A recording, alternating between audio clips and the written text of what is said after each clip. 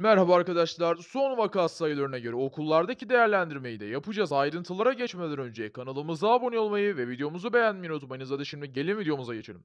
Bu arada açıklamadaki ve yorumlardaki linkten Cumhurbaşkanı Erdoğan da okullarıyla alakalı yaptığı açıklamaya bakabilirsiniz.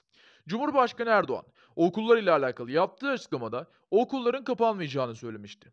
Evet, böyle bir durum var. Yani okullar kapanmayacak ki kapanmasın. Zaten kapanmasını da istemiyoruz ama öğrencilerin sağlığı için şu anki duruma göre okullarda da vaka sayısının epeyce arttığını görüyoruz. Bu yüzden şu anda en azından okullarda yeni bir tedbirin, yeni bir kararın al- alınması yanındanım. Yani ben o yönden e, bir kararım var. Umarız e, tabii ki öğrencilerin de sağlığı düşünülerek umarız en kısa sürede böyle bir karar yani önemli bir karar alınır.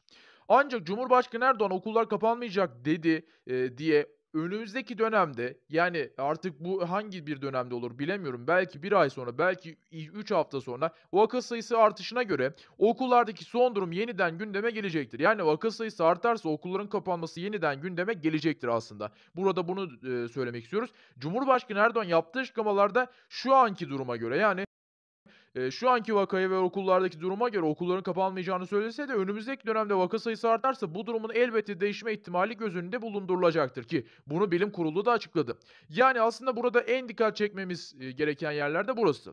Umarız şu anki vaka sayısına ve okullardaki duruma bakarsak umarız en kısa sürede okullar ile alakalı yeni bir karar alınır ve umarız öğrencilerin eee, sağlığı daha önemlidir diyoruz. Eee, umarız bu konuyla alakalı bir karar alınır, en azından tedbir alınır. Çünkü okullarda tedbirlerin uyulmadığını gerçekten çok ciddi anlamda görebiliyoruz. Kanalımıza abone olmayı ve videomuzu beğenmeyi unutmayınız. Görüşmek üzere.